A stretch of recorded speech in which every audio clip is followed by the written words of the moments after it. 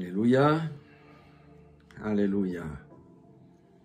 Que le nom du Seigneur soit béni, que le nom de l'Éternel soit glorifié. Amen. Je vais faire une vidéo un petit peu spéciale euh, aujourd'hui. Et ça s'intitule à, ceux qui ont peur.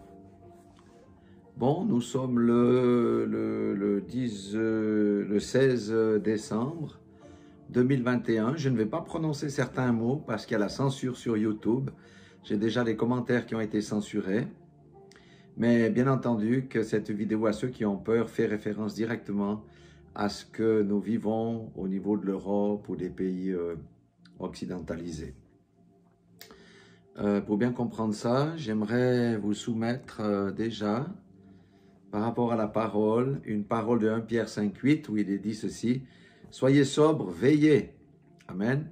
Votre adversaire, le diable, rôde comme un lion rugissant. Un lion rugissant, c'est quelque chose qui fait du bruit, n'est-ce pas? Si vous avez été en Afrique et vous entendez un rugissement de lion, euh, vous avez peur. Ça s'entend à 8 km. Alors si vous êtes à quelques centaines de mètres, lorsqu'un lion rugit de manière très forte, ça produit quelque chose sur le cœur. Cherchant qu'il dévorera. Mais au verset 9, il est dit, résistez-lui avec une foi ferme, sachant que les mêmes souffrances sont imposées à vos frères dans le monde. Tous les chrétiens aujourd'hui sont dans les mêmes souffrances. Et la pression va venir tellement forte que euh, la souffrance va augmenter. Donc nous sommes euh, vraiment dans les temps de la fin. Le lion aujourd'hui, il est affamé, il sait que son temps est court et il rugit. Amen. Ce que j'aimerais dire, c'est qu'aujourd'hui, nous voyons clairement les choses. Le Seigneur m'avait parlé du filet d'un filet il y a bien des années de ça, et c'est en train de s'accomplir sous mes yeux, sous nos yeux. Donc il y a un grand filet qui a été jeté sur le monde. Les, les habitants de la terre, on va dire, ce sont les poissons. Amen. Ce filet s'appelle le filet de la grande peur. Alléluia. Vous savez que, pour ceux qui connaissent un peu la, pêche, il y a les chalutiers. Les chalutiers peuvent avoir des filets qui font jusqu'à 5 km de, large. Quand on jette le filet, D'abord, les poissons qui sont dans ce filet-là ne savent pas qu'ils sont dans un filet parce que 5 km, c'est vaste. Mais au fur et à mesure que le filet se rapproche, les poissons disent Ah, mais il y a plus de poissons qu'avant. Puis quand on est, on, est vraiment, on, resserre vraiment beaucoup, on dit Mais on n'a plus beaucoup de place ici. Ça commence à paniquer, ils ne peuvent plus échapper. Puis finalement, on serre tellement jusqu'à ce qu'on remonte les poissons sur le chalut. Et c'est la fin. Donc, on voit très bien que dans ce monde, le chrétien devient de moins en moins à l'aise. Quand je dis chrétien, je parle du disciple. Je ne parle pas du chrétien, du chrétien charnel, mondain, qui est déjà avalé dans le filet parce que il a les compromissions avec le monde. Je parle du petit reste, ceux qui font confiance à Dieu, ceux qui appartiennent véritablement au Seigneur Jésus-Christ et qui marchent en conformité avec la parole. Alléluia. Donc, à la fin, qu'est-ce qui se passe? Mais comme je dis, les poissons sont comprimés, compressés et sans pouvoir bouger. lorsque le filet est retiré, c'est la mort. Alléluia. Et voyez, ce filet, c'est un esprit.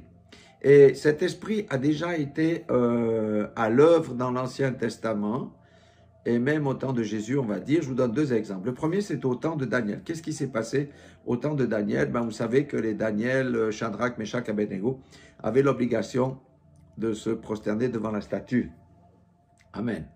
Et quiconque ne, se prosternait pas devant la statue était menacé d'être euh, passé par le feu ou jeté au lion. Enfin, ce genre de, ce genre de choses. Donc, vous voyez, c'est là que nous allons. Nous pouvons percevoir exactement là où nous allons. En tous les cas, nous sommes sur des rapides qui nous conduisent dans la situation de, des Daniel, des Shadrach, des Meshach et des Abed-Nego.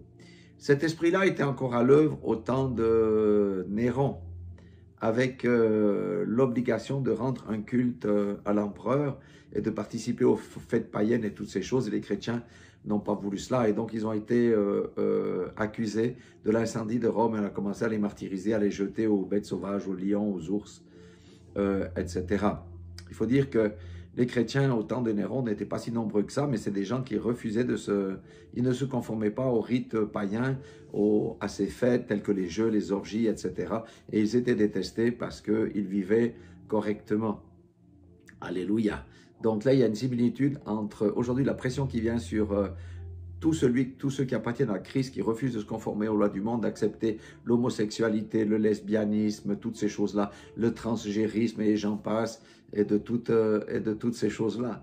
Alléluia. Le monde a décidé que c'était des choses légales. Soit il en est ainsi. Moi, je n'ai rien contre. Les gens vont d'après d'après leurs opinions, mais en tant que fils de Dieu, moi, je n'accepte pas ces choses. Ça ne veut pas dire que je jette des cailloux sur tous ceux qui ne me ressemblent pas, mais au contraire, je prie plutôt euh, pour eux.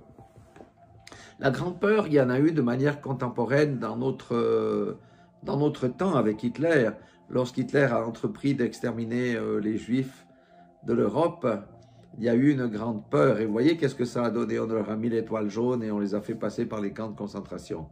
Mais le Seigneur dit que la persécution fait partie aussi du christianisme. Amen. Et on l'oublie parce qu'on vit dans un monde où on s'est éloigné de la parole et on ne se prépare pas à des choses euh, comme ça.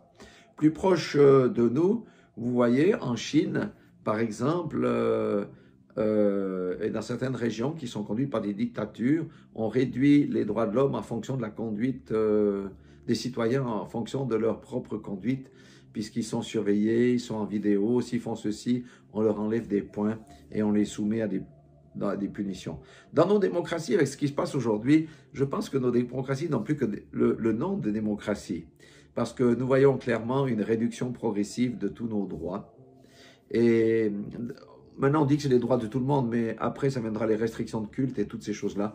Voilà, ça, c'est une situation qu'on ne peut pas, on ne peut pas euh, euh, évacuer. Euh, tout simplement. Donc, il y a un filet sur le monde entier. En tout cas, l'Europe, les pays occidentalisés, le filet est très, très fort. Ça s'étendra ensuite aux autres euh, euh, parties du monde. Les objectifs du filet, j'en ai noté trois qu'on doit comprendre. Le premier, c'est de préparer la, vue, la venue de l'Antichrist en cassant les personnes, en, préparant les choses pour le faire adopter. Alléluia. Il y a une préparation pour la venue de l'Antichrist. C'est pour ça que nous, dans le ministère, on prépare on, prépare les gens, on prépare les âmes pour le retour de Christ. Amen. Deuxième des choses, c'est de corrompre et souiller les enfants de Dieu en les forçant à accepter les compromis mondains au mépris du respect de la parole euh, de Dieu en édictant des lois. Amen. Ça, nous le voyons clairement, il n'y a pas besoin de donner des exemples. Ça, c'est là, même dans nos, ce qu'on appelle dans nos euh, démocraties. Alléluia. Et ça va aller de plus en plus comme ça parce que le monde, le plan du diable est de détruire tout ce qui est divin, tout l'ordre divin. Ça commence par la famille, ça commence par l'homme et toutes ces choses-là. Voilà ce que le, diable fait. Donc là, on a déjà deux. Le troisième objectif, c'est détruire la foi du chrétien. On détruit la foi du chrétien en lui faisant tellement peur qu'on l'oblige à se confier en l'homme plutôt qu'en Dieu. Si je prends, ça va être des solutions de médecine au lieu des solutions de Dieu. C'est un exemple. Donc on veut détruire la foi du chrétien en mettant le doute et par la peur, etc. Et vous savez que le doute et l'incrédulité éloignent de Dieu et favorisent la domination de ceux qui font ces choses. Alléluia. Et je ne suis pas un complotiste, hein. je, je, parle de ce que je vois, de ce que nous voyons aujourd'hui. Il y a trois armes le diable utilise au niveau de la peur. La première, c'est la domination. Partout où vous voyez de la pression pour mener quelqu'un en esclavage, c'est la domination. Domination, c'est le premier point. La deuxième des choses, c'est la manipulation. La manipulation par le ruse, la ruse et le mensonge, pour que les gens acceptent ce qu'on leur dit de faire, pour qu'ils soient dominés. Et la troisième, c'est le contrôle qui permet de maintenir les gens sous la domination. Écoutez, vous qui réfléchissez, est-ce que nous ne voyons pas ces choses-là aujourd'hui devant nos yeux? Nous devons savoir que, en tant que chrétiens, au Fils de Dieu, la peur qui mène à l'esclavage ne vient pas de Dieu. La peur qui mène à la destruction ne vient pas de Dieu. La destruction, c'est pas que physique, c'est destruction de la société, de toutes ces choses. La peur qui mène à la division ne, vient pas de Dieu. Et regardez, la division maintenant sont juste dans les familles avec ce que nous vivons. La peur qui mène à l'angoisse et la dépression ne vient pas de Dieu. Et la peur qui mène aux restrictions ne vient pas de Dieu. On peut avoir des restrictions, mais lorsque l'objectif est clair et propre, en l'occurrence ici les objectifs ce sont des objectifs diaboliques. Alléluia. Et lorsqu'on tient ce genre de discours, on va dire, pasteur, tu es un complotiste. Je ne suis pas un complotiste, je suis simplement réaliste. Alors, comment faire face à la situation actuelle? Comment vaincre cette peur? J'aimerais